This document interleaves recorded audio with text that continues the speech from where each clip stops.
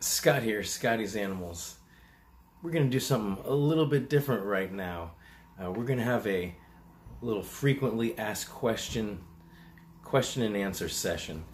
Jim, one of my patrons, proposed that I do a video answering some uh, questions, uh, some frequently asked questions. I asked my patrons to uh, ask me any questions that they were wondering, and so I got a list of questions from my patrons. So um, let's jump into them. Um, but they are not about guinea pigs, they're about me. Um, and, and I guess some of them are guinea pig related, but in, or animal related, but some of them are also just kind of a little bit more about me. Um, so if that's something that you're interested, stick around. These are all only for my patrons. Uh, so if you want to find out about Patreon and any of that stuff, uh, check out my Patreon site. The link is in the description. But Daniel asks me, how did I get started with piggies? So first question off is guinea pig related. I've mentioned this before, maybe in a live feed or in some other places. I did a live uh, question uh, and answer thing a few weeks back, but that was live, so it's like hours and hours. This is going to be a lot more concise. My third grade teacher had guinea pigs, uh, and they really um, struck a chord with me, and so I had guinea pigs when I was younger. Okay, Patricia asks, do I ever relax and watch TV? No, never relax. Always making, never watching. No, I love uh, watching TV, YouTube especially, and of course, you know, Netflix and that kind of thing. On YouTube, I of course watch some other guinea pig related channels, but when I'm not uh, focusing on guinea pigs, I like to watch uh, various news, of course, rock hounding videos, art related videos. I like to use YouTube as a place to learn, so I was learning about archery and researching. I still haven't bought a bow yet, so I've watched a lot of archery videos uh, on YouTube recently.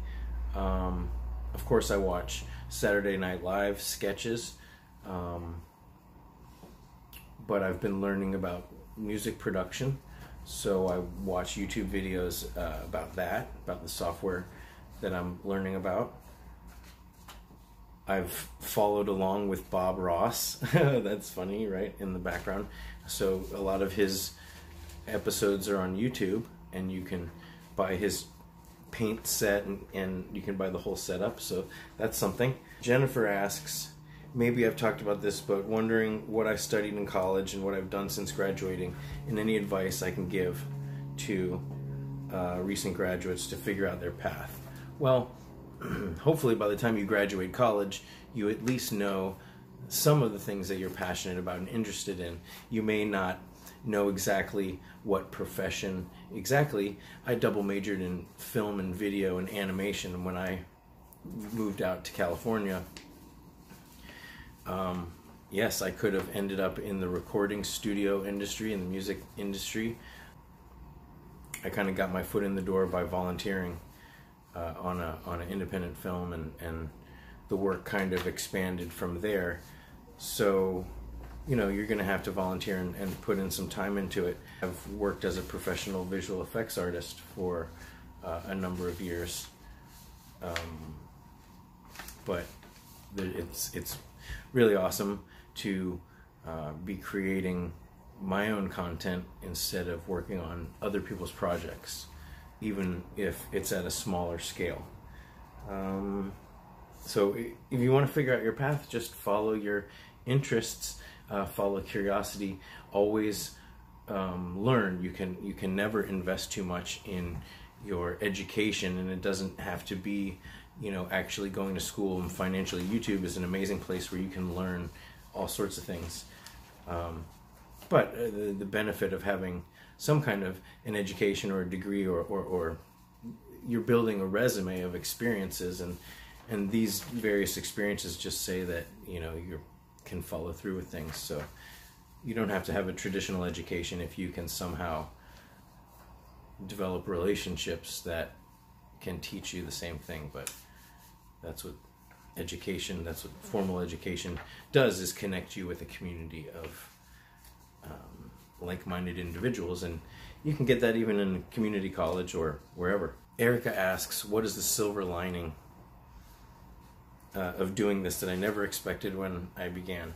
Uh, I would say the fostering of this community has been um, kind of unexpected.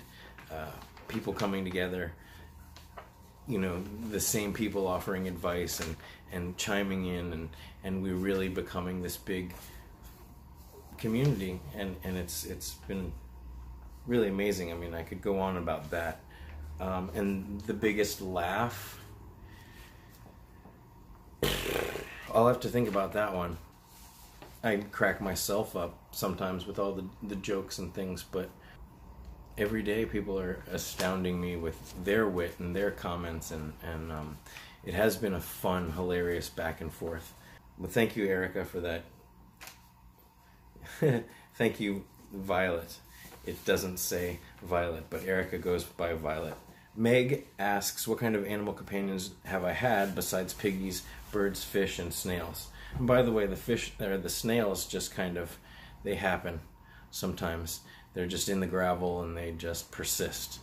Um, and if uh, you know your conditions are okay for them to thrive, there's not that many of them in there, but um, I neither care for them nor uh, try to eliminate them. They just happen to be. But I could never just flush them. That would be okay. Uh, what other pets have I had? Uh, I've had the hamsters, and um, um, when I was younger, I had a rabbit, and um, I had a snake,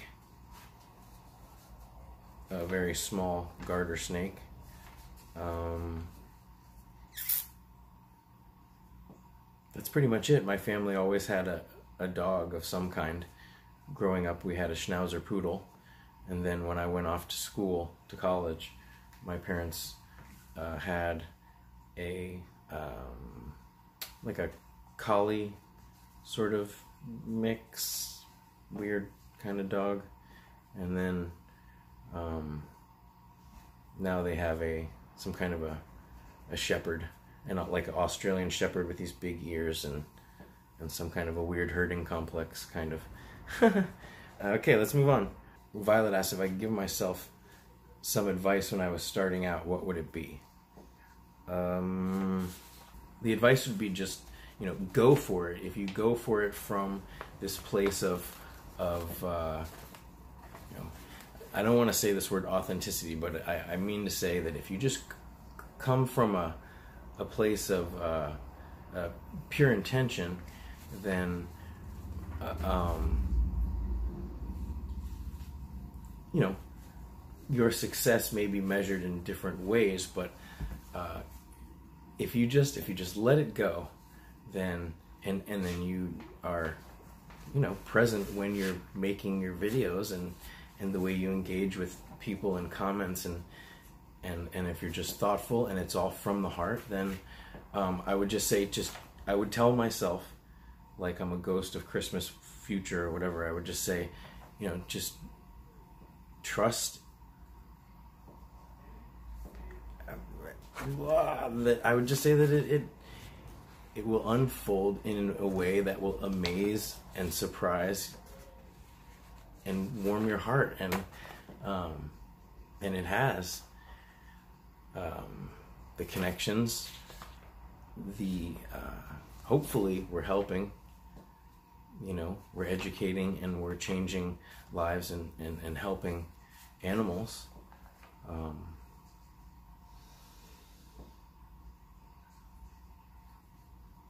just do it whatever like and and and, and it's it is a catalyst for um,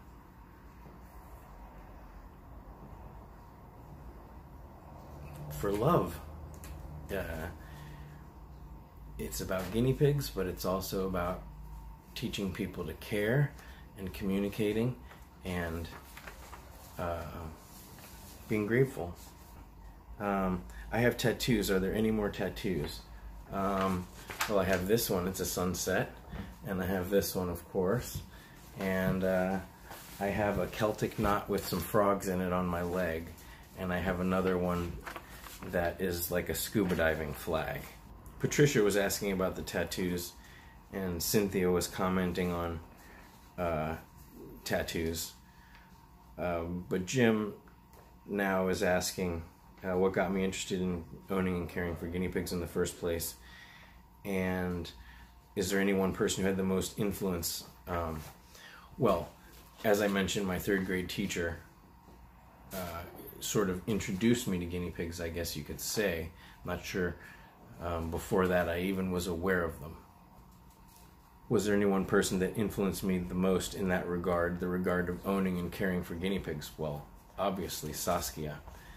Um, she's taught me the most about guinea pig care, um, and the time that I've spent with her, of course, I've spent with the piggies. So um, the the seven plus years that we've, you know, that she's been teaching me, um, but also about interacting with people and just having patience and just you know not jumping to conclusions and giving people the benefit of the doubt and, and, and just trying to be more graceful and, and patient with people. Uh, that is you know and it just a lot happens uh, in in that much time so you know i owe her a lot as from you know not just about teaching me about guinea pigs, but also just about about growing up and about being patient and kind. So I I'm running out of space. Uh, I've got to uh, er- got to erase some things off of my phone before I finish this last page. And Allison has a whopper right here. She says, "Do I believe in extraterrestrial life, and what do I think the best version of my life looks like? Do I have a favorite book?" okay, do I believe in extraterrestrials? Uh, of course, in the vastness of the universe, multiverse, whatever, there must be other uh, life forms. There must be, because it's just vast. Um, have they visited Earth? I don't know. Maybe. Um, the prospects of that are terrifying and also uh, fantastic. Allison asked me what the best version of my life looks like. And I think um, one thing that's important to me would be to be able to uh, be in control of the projects that I'm working on uh, from a creative standpoint rather than just always being a helper on someone else's project. Allison asks, Do I have a favorite book? Uh, I'll list two books. One would be Journeys Out of the Body by Robert Monroe, and another one would be The Silent World by Jacques Cousteau. Okay. Um, Alina is asking what a normal weekday looks like for me and what do I appreciate the most um, at the moment. Um, well, a normal weekday depends on whether or not I'm uh, doing freelance work or if I'm just working on Scotty's animals. I'm the most thankful for the health of my uh, pets, my animals, and my friends and family, and just the well being of my community. Um, so I uh, what would I change? Um, well, I, I'm just hoping to be able to grow and to be able to do this more, Scotty's Animals, um, in a greater capacity, whether that's having my videos become better and also uh, have a, a, a greater reach or a greater impact uh, on the animals in need and, and educating people and, and fostering the, the, the learning and, and the, the love and the care for small animals, um, all animals, and each other as well. Um, what do I dream of doing in the future? Uh, well, I dream of being able to do something like this really full time um, and and be able to uh, uh, thrive, have it grow, and be able to actualize uh, the ideas that that I have and that um, are suggested to me, and and to be able to. It's not this more, more, more, grow, grow, grow, but it's about following this kernel, fostering something that is growing and allowing this gen- genuine curiosity and care to uh, blossom into what it needs to become. So that there is an element of growth, but it's an earnest growth rather than growth for the sake of growing. But if if I could be able to focus more time and energy to this, that would be that's what I want. Um, so that was some questions from Alina. Now we're on to the last page. Uh, Cheryl asks, "Do I believe in Jesus?" And uh, she hopes she says she hopes to meet me someday in heaven with the piggies. Let's not rush it, Cheryl. Um, you can always come to the rescue uh, in Los Angeles. Um, do I believe in Jesus? I believe that um, I believe that there is some kind of uh, something is going on beyond this uh, physical reality. Uh, science is starting to uncover some of the things that uh, a lot of the various religious teachings around the world throughout time have been trying to uh, explain. Um, and I believe that um, Jesus uh, was and still is a, a, a source of um, salvation and growth and knowledge and love uh, for many people. Um, but I don't believe in the exclusionary nature of um, organized religion. Um, so I think there are many guides, and I think Jesus is one of them. And I'm getting kind of tingly as I as I talk about this.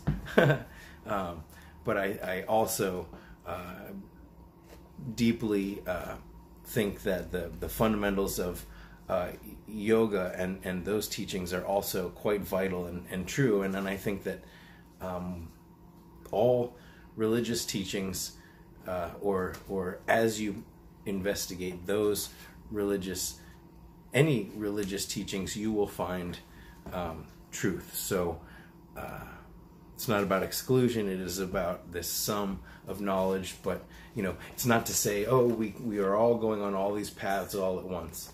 Um, one of my piggies is coughing. They like to sometimes drink too quickly. It's okay. So I listen. Um, but I think we are drawn to our path. And um, so I'll say uh, um, I have much belief in, belief and faith in Jesus and the power of Jesus to change lives. Um, okay, let's talk to Cyan.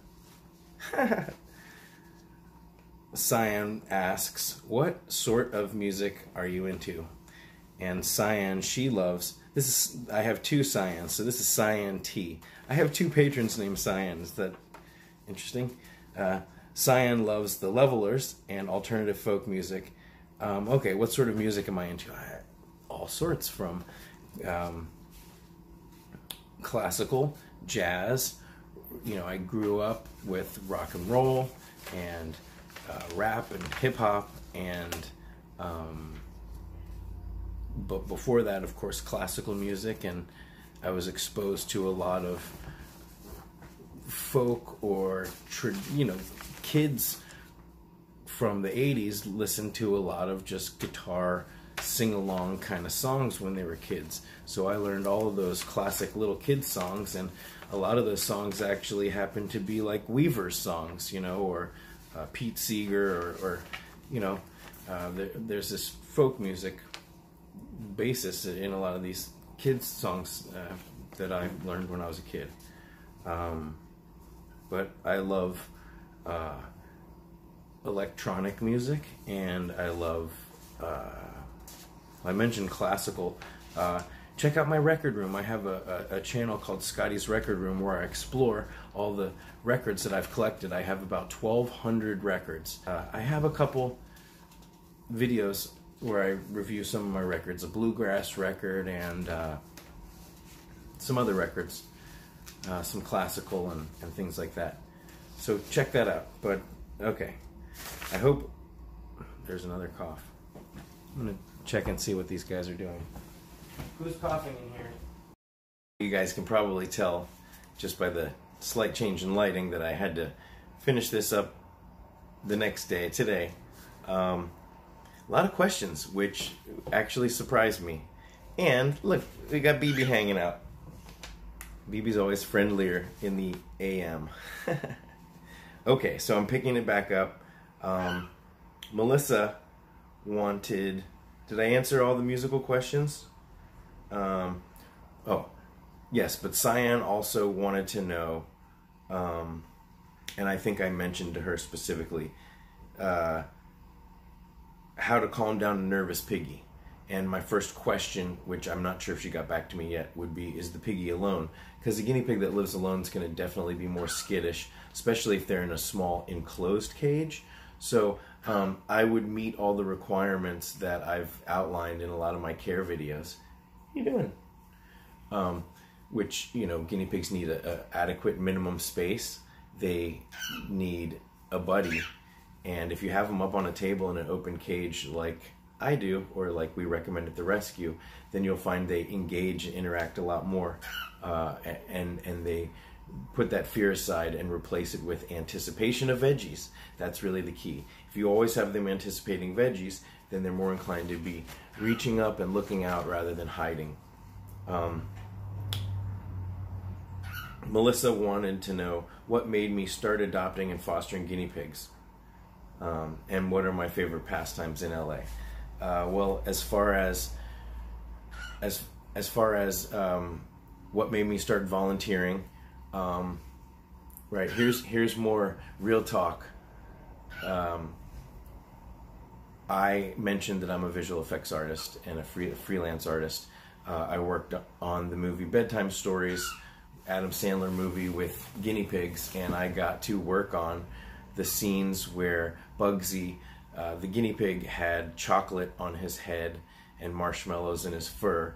And so it was a real guinea pig. We put the fake googly eyes on him and chocolate and marshmallow. That was all computer generated, and I'm a compositor. So that's what I did was make it look like these 3D CG elements were actually part of the uh, scene. Um, and it wasn't just me; it was a whole team of really great artists that made it work. Um, and when I was working on it, I started thinking about my guinea pigs as a kid and how much I loved and missed them. So I did the the thing that a lot of people do, and I, I found myself in a Petco. And before I knew it, I had bonded with a pair of brothers who surely would get along when I took them home. Um, they ended up fighting after only a few months of living together and had to be side by side buddies. Um, and surprisingly, somehow, through the internet, I was still able to discover CNC cages, and they did have adequate space and proper food and everything. But when one of them passed away, I thought surely there's got to be some kind of a, a, guinea pig rescue or something. Well, I bought the pigs uh, at the pet store up in the Bay Area, and but when I moved back down here, um, I discovered the LA Guinea Pig Rescue, and I found I found a, a bonded boy. I, I I found a single boy that I bonded with with my boy, and they lived happily ever after for uh, a number of years. And ever since then, I've been helping out at the rescue. Whether it's I started out transporting guinea pigs. Um, we used to have a relationship with vets in San Diego through Wee Companions. We now have a relationship with some vets up here that occasionally will um, donate their services or give us discounted neutering. Um, we don't recommend neutering, but every year or so we accumulate a few single boys that, for whatever reason, have repeatedly failed to bond with anybody, and um, those boys are become candidates for being neutered, and they usually uh, and well, always we've had a very very high success rate. They end up doing very well with uh, in the girls' cage, either with a, a, girl or a group of girls. So um, I used to help transport the piggies down to San Diego, and they would get neutered, and I would transport some of the ones that had already been neutered and healed back up. So back and forth, doing a lot of transporting, and then I just um, started volunteering on Saturdays during adoption days. Um, which gets me to, let's see, Melissa asked me what my favorite pastimes in LA. Um, well, one of my favorite pastimes is scuba diving. I used to really do a lot more scuba diving on the weekends, which is about the same time as the rescue. But I love to do scuba diving whenever I can. I'm always down for a night dive at Redondo Beach. Um, it's amazing. You can see baby squid and stingray and all sorts of things, uh, especially at night when all the, the critters uh, in the day are asleep and, and the different critters come out. So it's, it's amazing. Um, but, you know, I'm just a, a regular dude. I spend a lot of time out in the desert going back and forth. Um, I'm in the middle of a long term super adobe construction that is um, a certain uh, architecture style uh, where you take sandbags and sand and earth and you uh, make a, a, simple structure. So I've been working on something like that for a little while. Um, and, uh, you know, that's the thing. I'm just so kind of I don't, I don't know what you call it, but I I um I don't totally just chill. I'm always doing something. I've always got something in the works. Um, that's something I've got to work on. Uh, I like to take breaks, but I'm always doing something. It's very rare that I have a full day off. You know, um, where it's just like nothing's been planned. Um, and and if something like that is, then I go for a drive. Uh, you know, I live pretty close to the ocean at the moment, so I my choices are north, south, and east, and uh, I'm always up for an adventure in any of those directions. So that's pretty much it. Um, but I love nature, so getting out, seeing a, a park, that's always great. Go going and exploring, it's always awesome. Okay, and Maria from Sweden, she, um, I think she asked me what questions um, want to be asked for me. It's a interesting translation, but she's she's asking a more metaphysical metaphysical a metaphysical question of um, what questions should be asked. And you know what? This is the, the patron's opportunity to find out um, more, and, and this is your opportunity to ask in the questions, uh, in the comments, and, and I will uh, try to answer all those questions. So, okay, we're, we're getting to the end here.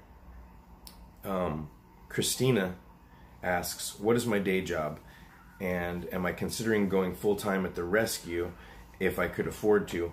Also, she wants to know my favorite type of music. She's a rocker, who loves blues, jazz, R&B, and classical. I do too. Man, she's also got what's your favorite movie? And besides the piggies and BB and the, the fish and the snails, what are what are my hobbies? She makes soap. Uh, that's awesome. I, I've actually been interested in making soap. Um, it's all about, I guess, the molds and the ingredients and the scents and, and uh, the swirls. It sounds like fun.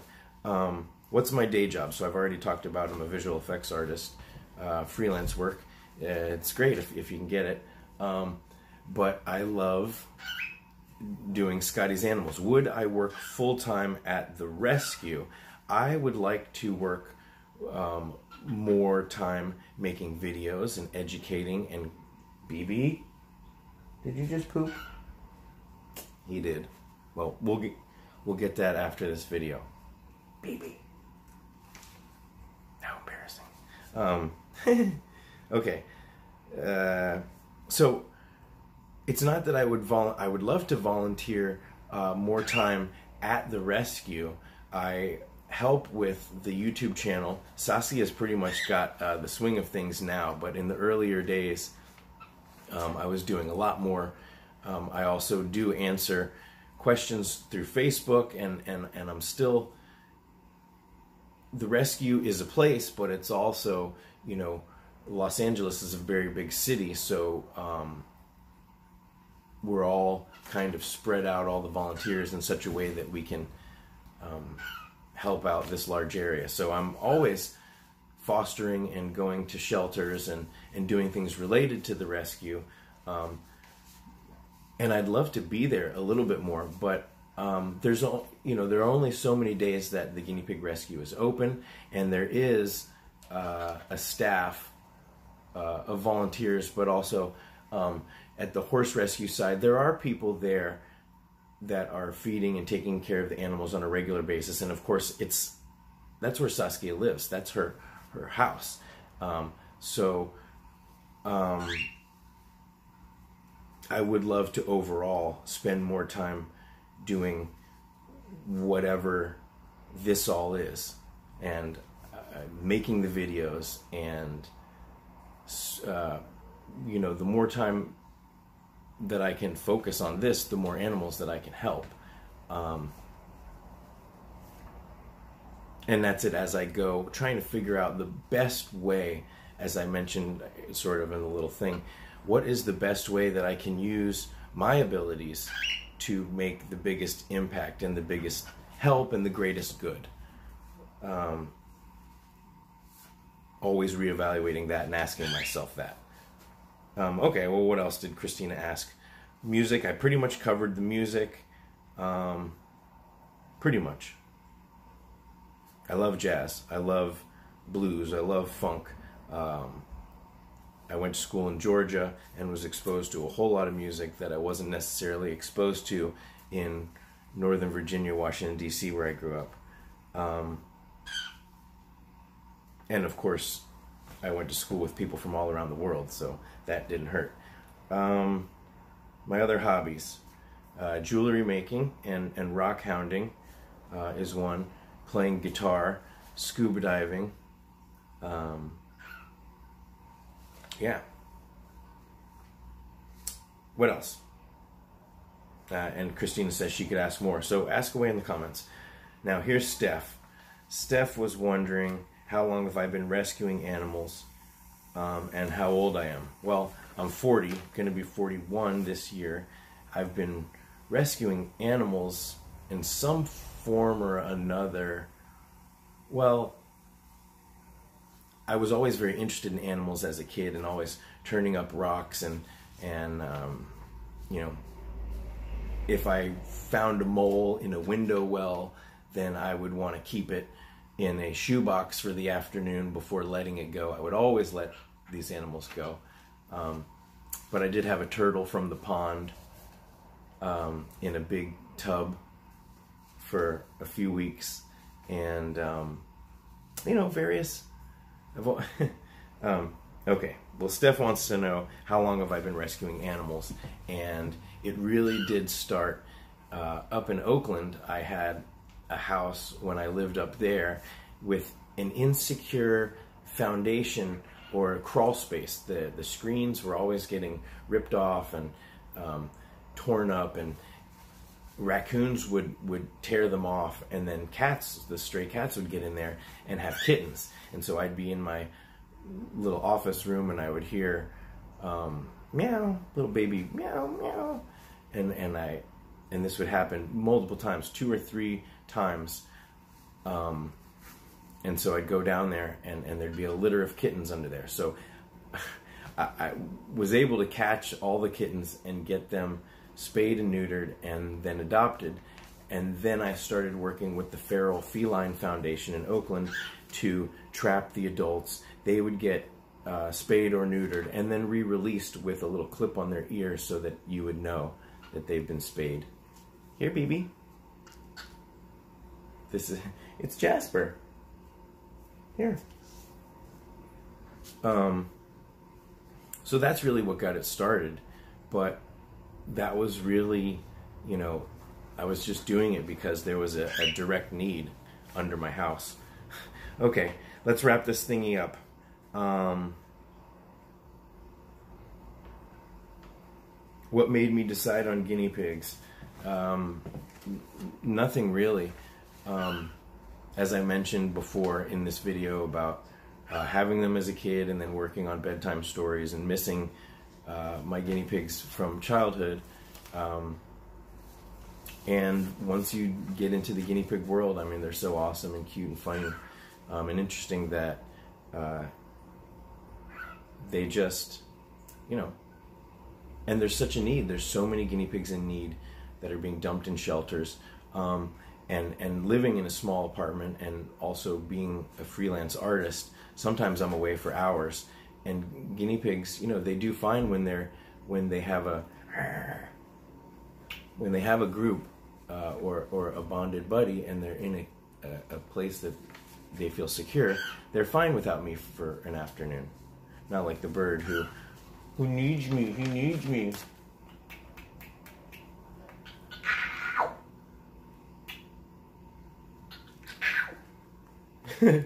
um, he's like a little baby, like or like a four-year-old maybe. Um, okay, what else has Steph said? Uh, she men- mentioned me being a scuba diver. Um, yeah, I love scuba diving, but I'm not a I'm not a dive instructor. I'm just a rescue certified uh, diver. Okay, so and here's the last question, at least from the point in which I printed this out, and I don't mind doing another one, although you know this has gotten a lot longer than I expected it to be because whittling down you know i could chop all the ums and uhs out but then you just end up you know and i have tried to whittle this thing down but you know a lot of questions and and and just want to answer them. Okay. Leslie asks who is the boss in the guinea pig pairs and i think that that is a really awesome funny question it's a great question to end on so let's go through let's go through our pairs. Well, as you know, Billy has been living alone, so he's the boss of himself. um, Timmy and Mike, um, I'm not sure who I would say is uh, the boss there because, I mean, Mike is a very timid guy when he's around other piggies, but because of Timmy's mobility issues, sometimes Mike can sort of boss him around, but not really. And Mike's so sensitive because Mike's a crybaby himself that I think whenever Timmy whimpers, he feels bad and he like stops pestering him. Usually he just sort of invades his space. He's not really much of a humper. Uh, sometimes he kind of rumble struts a little bit, but uh, that's why I put them together. They used to be paired up with uh, different piggies. Um, moving on. Gary and Pipsqueak are single at the moment.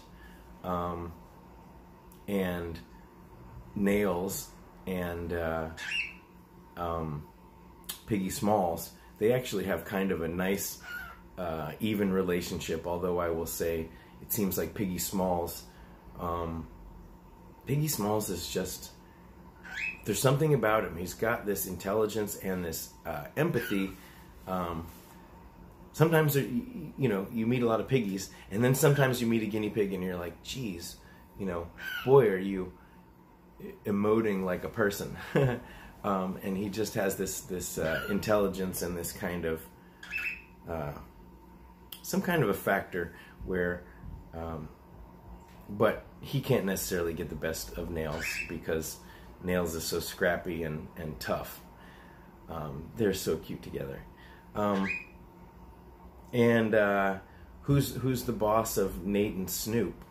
uh, that remains to be seen. They both are kind of um, on each other's. Uh, they're like at each other's throats. They're they're uh, it's trouble in paradise.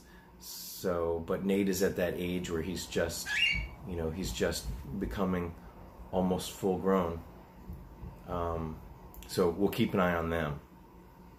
Um, and who knows, maybe I'll be able to pair up some of my single boys in the future. Okay, well, that's the end. I can't believe that BB sat on my shoulder for this whole time. Right? Uh, so, thank you guys. Um, or I should say, you're welcome, because that was a lot of hard work. No, but thank you for uh, just your interest in the fact that you'd even want to know these things. Um, it's kind of weird, and I always wonder um, where the line is. You know, because because it's not about me; it's about the animals. Although the channel is Scotty's animals, so who is this Scotty guy? and why does he have so many guinea pigs? Um, well, maybe now um, you got a little bit more uh, of an understanding. Uh, so thanks for hanging in there. Um, there was a live video, so if this video wasn't long enough, there's a, a live Q&A video which actually disconnects after seven minutes and then it picks up in a video called Oops. so uh, check those out if you can't get enough rambling and uh, dead space and me looking around wondering what's next. Okay, thanks guys. uh, what a wild. This has been fun.